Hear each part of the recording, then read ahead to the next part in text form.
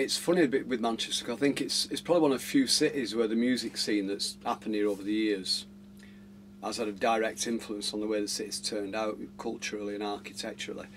And what's happened in Manchester, because we've always had a very strong music scene, we've always had great bands going back to the 60s and even before that, the 50s, there was a lot of great jazz music happening here. So I think over the years, the, the music has influenced the citizens so much that some of those citizens have gone off and done amazing things with the city. So people like Tony Wilson, because of his love of the music from the region, he, he had a direct influence on the way the city looks today. I believe. I think a lot of a lot of the architecture that's up there today is directly as a result of Tony Wilson and his, uh, his you know his partners in Factory Records and all that kind of stuff.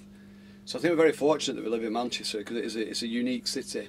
you know, there's other cities that are, you know, great music capitals for a little while, but I think Manchester, I think we've just become this unique, um, this unique entity where the music and the, the architecture and, and the people are just completely attached at the hip. So yeah, I think Manchester today, 2011, is very much influenced by the music that's come from here for the last 30, 40 years or so. It was only probably mid 70s, 1975, 76, when the punk scene happened for me, that I started going into the city centre to watch gigs and everything and spending a lot of time down there. And the Manchester that I remember, remember then has changed completely, you know, to what hmm. it is now.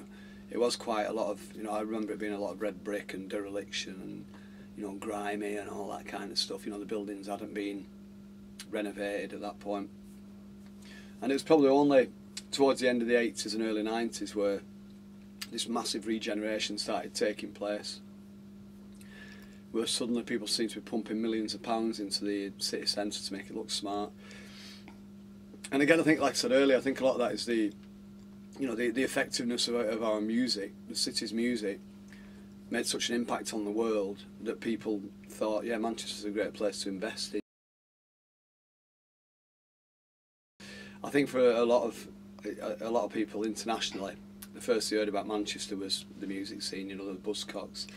Joy Division, the Smiths, through to Happy Mondays and the Stone Roses and the Inspirals, hopefully, and through to Take That and Simply Red, and right up to the modern day with Oasis and you know Elbow and just mm. these amazing, mass, magnificent bands. You know the Ting Tings, even just these bands every year, just massive bands coming out. Courteeners phenomenal.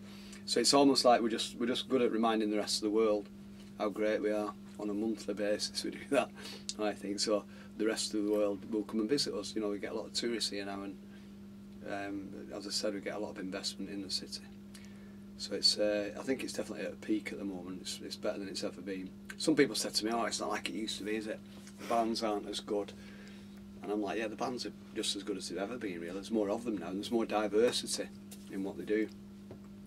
And people say, "Yeah, but the city centre don't look as good. It looks like all the other city centres, But no, it doesn't we're the only ones that have got, you know, GMEX or Manchester Central as it's called now, and we're the only ones who've got the Beetham Tower, and Castlefield is very unique. So I think we've still got enough of our heritage architecture in there, and we've also got the, you know, the new breed of building that a lot of the rest of the world's getting as well. So I think we've got a nice balance of the old and new at the moment, and we've still got great music. That's the most important thing.